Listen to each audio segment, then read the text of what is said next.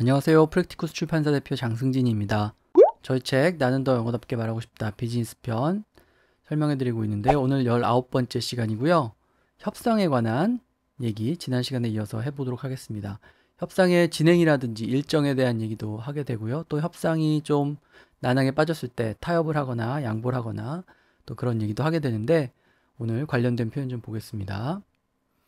네, 먼저 앞으로 어떻게 하고 싶은 겁니까? 이렇게 얘기했죠. 그러니까 어떻게 진행을 했으면 좋겠냐, 일은 어떻게 진행했으면 좋겠냐라고 말할 때 그냥 간단하게 여기서 어디로 갔으면 좋겠냐 그렇게 얘기하면 됩니다.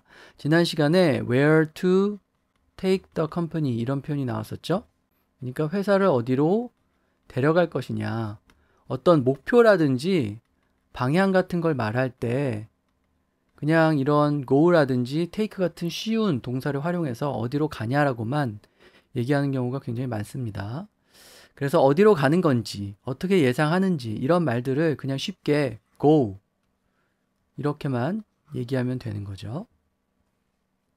지연이 되어서는 안 된다 이렇게 얘기했는데요. 네, 명사로 딜레이를 더 이상 afford 할 수 없다 이렇게 얘기했습니다. 이 can이라는 동사 그리고 낫을 붙인 can't하고 afford하고 같이 쓰이면 뭐뭐 할 수 있다 없다 이런 뜻이 되죠.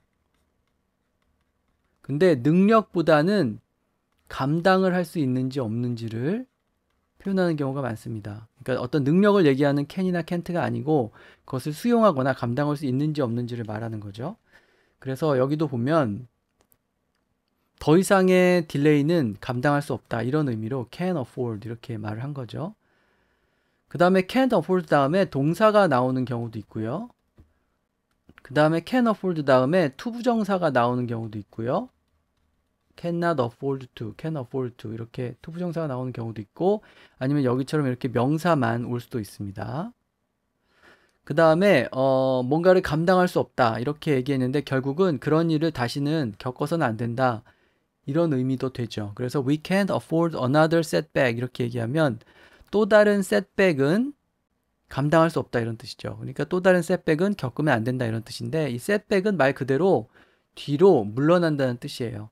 그래서 뭐 퇴보라든지 아니면 차질 이런 것을 setback이라고 얘기합니다. 그래서 일이 이렇게 쭉 진행되어 가다가 다시 거꾸로 돌아오는 상황이 생길 때 후퇴하는 상황이 생길 때 그것을 setback이라고 말할 수 있죠.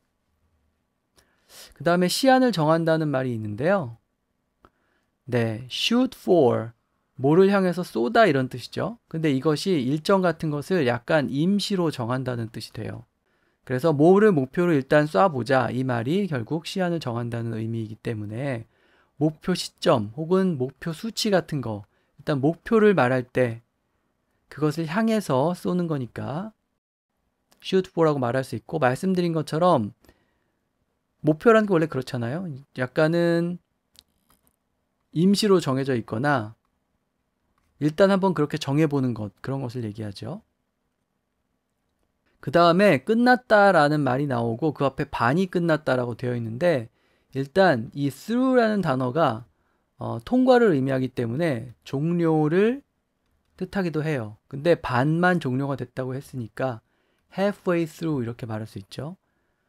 관통을 하는 거니까 처음부터 끝까지 다 끝났다는 뜻이고 그 앞에 halfway를 붙이면 반만 끝났다 이런 의미가 되겠습니다.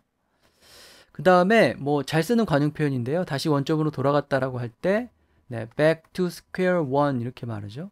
이 square라는 단어는 이렇게 뾰족한 모서리가 있는 이런 사각형을 얘기하는데 어, 이런 모양으로 생긴 어떤 광장이라든지 그런 공간을 또 얘기하기도 하죠. back to square one이라는 말 자체가 뭐 어원이 어떠하든 상관없이 어, 처음으로 다시 돌아간다. 1번 square로 돌아간다. 이런 뜻이 되는 거죠. 자, 그 다음에 양보하다라는 말이 나오는데 제가 앞에서 yield라는 단어를 설명하면서 어, 도로 표지판에는 yield가 양보라는 뜻으로 쓰이지만 일상에서 양보하다라고 할 때는 거의 쓰이지 않는다 이렇게 설명을 드렸어요. yield는 오히려 뭔가를 만들어내거나 produce 혹은 생산해내거나 이런 뜻이라고 설명을 드렸죠. 양보한다고 할 때는 네 이렇게 그라운드를 조금 내준다 이렇게 말을 할 수도 있고요. 그 다음에 양보라는 뜻을 지닌 concession이라는 단어가 있어요. 이 단어를 써서 표현을 할 수가 있습니다. 그래서 어, 내 땅을 조금 내준다는 말이 결국은 양보를 한다는 의미가 되기 때문에 give a little ground 이런 식으로 ground를 활용해서 표현을 할 수가 있죠. 그래서 서로 양보를 하지 않으려 한다 이렇게 얘기한 거죠. 그래서 합의하려는 노력을 해야 된다고 할 때 unwilling to give ground 서로 양보를 하지 않는다 이렇게 말할 수 있는 거죠. 반대로 이제 give ground라고 하면은 양보를 하는 거니까 합의하려는 노력을 한다 이런 뜻이 되겠죠.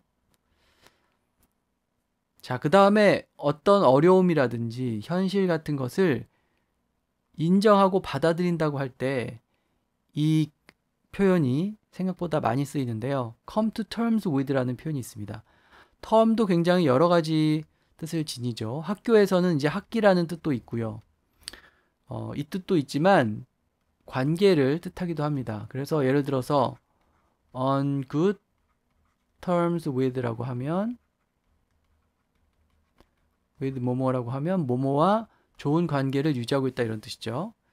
자, 뭐뭐와 관계가 유지되기 어려웠는데 결국은 관계를 맺게 되었다. come to terms with 이 말은 인정하고 받아들이기 힘들었던 것과 이제는 화해하게 되었다 이런 뜻이에요.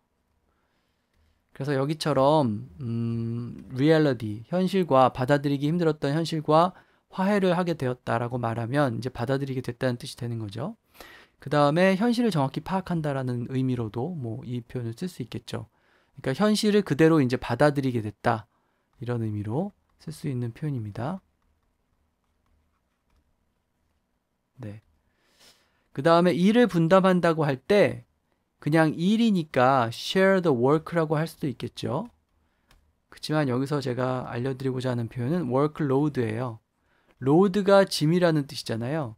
그러니까 work 뒤에 짐을 붙였으니까 짐이라는 말을 붙였으니까 예를 들면 일 부담 같은 것을 workload라고 말을 합니다. 그러니까 얼마만큼의 부담이 있느냐, 업무 부담이 있느냐 그것을 workload라고 말하죠. 그래서 음, 일 부담을 좀 나눈다. 그 말이 이제 일을 분담한다라는 뜻이 되고요. 말씀드린 것처럼 일의 부담 혹은 일의 양 이런 것을 load라는 단어를 붙여서 좀 더 구체적으로 그냥 work라고만 하지 않고 로드까지 붙여서 workload라고 이렇게 표현할 수 있습니다. 아, 그 다음에 보상을 주고받는다 이런 말이 나오는데 조금 어려운 표현이지만 네, pro quo라는 라틴어에서 온 표현이 있어요. 이것은 something for something else 라는 뜻을 지닌 표현이라고 해요. 그러니까 뭔가 다른 것에 대해서 어떤 것을 준다 이런 거죠. 그러니까 보상을 주고받는다고 했지만 결국은 뭐 예를 들면은 내가 하나 양보하고 상대방한테서 하나 받고 부정적인 뉘앙스로 쓰이면 거래를 주고받는 것을 quid pro quo라고 이렇게 얘기할 수도 있습니다. 네, 그 다음에 맡은 몫을 한다 이렇게 되어 있는데 몫이니까 네, share라고 말할 수 있고요.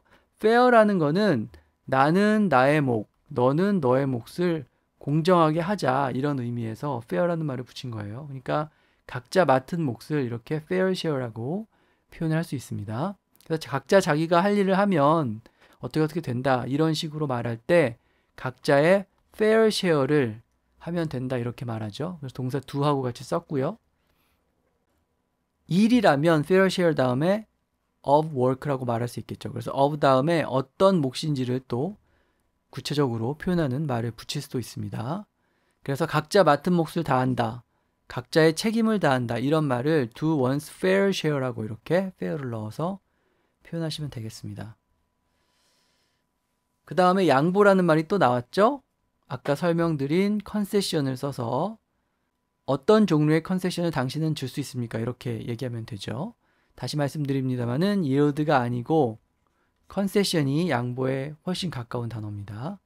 양보를 한다는 것은 결국은 포기할 걸 포기하고 받을 걸 받으면서 타협을 한다는 뜻이니까 어, 타협을 여기는 이제 extract니까 뽑아내다 이런 뜻이죠. 뽑아내다, 도출하다 이런 의미로 extract, concessions 이렇게 얘기를 했습니다. 그 다음에 호의의 표시라는 말이 있는데요. 네, gesture라는 단어가 호의의 표시로라고 할 때 as a good, as a gesture of goodwill 이런 식으로 쓰일 수가 있어요.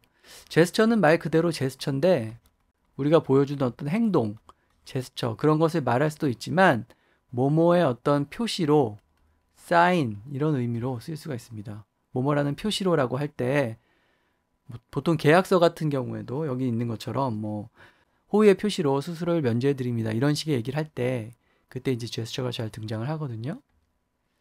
그래서 표시 아까 말씀드렸듯이 사인 혹은 모모를 보여주기 위한 것을 영어로 말할 때 제스처라고 이렇게 말을 할 수 있죠. 보통 호의의 표시라든지 감사의 표시라든지 이런 표시를 제스처라고 얘기하는 경우 많죠. 그래서 여기 보면 친절함과 선의의 제스처라고 선의의 표시라고 볼 수 있을 것입니다. 이렇게 얘기했죠. 자, 그 다음에 융통성 있다는 말은 뭐 굉장히 많이 쓰이는데 비즈니스에서도 잘 등장하죠.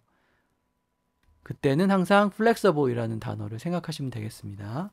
그러니까 뭔가에 되게 이렇게 꽂혀가지고 경직된 모습을 보이지 않고 타협을 할 수 있는 그런 태도는 모두 flexible하다 이렇게 말을 할 수가 있죠. 네, 그래서 오늘 협상에 관한 표현들 살펴봤고요. 네, 이 강의가 19번째 강의였는데 이제 20번째 강의하고 21번째 강의를 남겨 놓고 있습니다. 20번째 강의하고 21번째 강의에서 법무에 관한 표현들을 익히고요. 저희 책 설명을 모두 마무리하도록 하겠습니다. 그럼 다음 시간에 뵙겠습니다.